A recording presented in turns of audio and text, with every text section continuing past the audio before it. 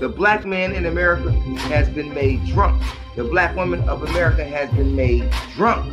Drunk with her wine, drunk with her heroin, drunk with her crack, drunk with her mollies, drunk with her homosexuality, drunk with her urban garbage radio mess, drunk with the stupid box that you watch on TV every day. Now, why you being drunk with this that is consuming all of your mind cells and your energy? What are you doing with it? You are actually projecting that which is in your mind.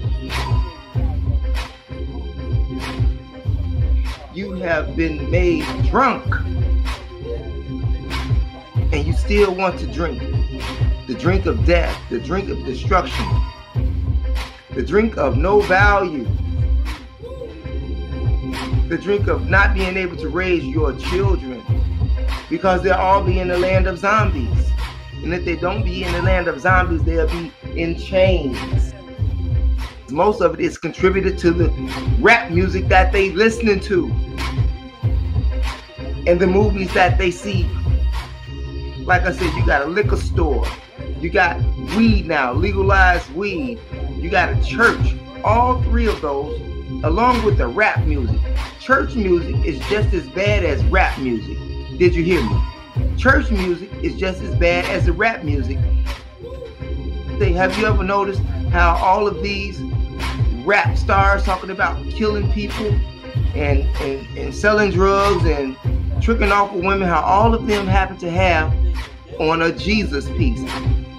But I never really caught how they always talk about death and destruction and how they instruct your children to disrespect you, instruct your children to beat you, instruct your children to disrespect your women, instruct your children to go use drugs, and they wearing a Jesus piece.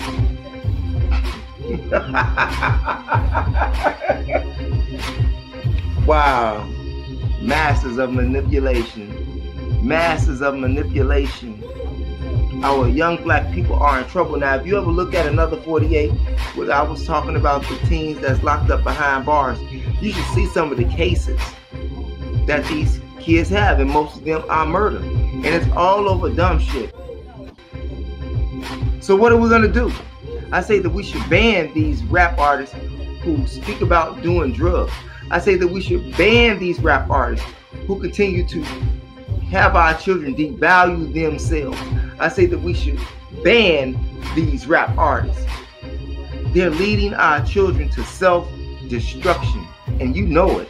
And some of you old cats, you even know it, but you're not saying anything about it because you listen to the same dumb shit that these young people are out here listening to.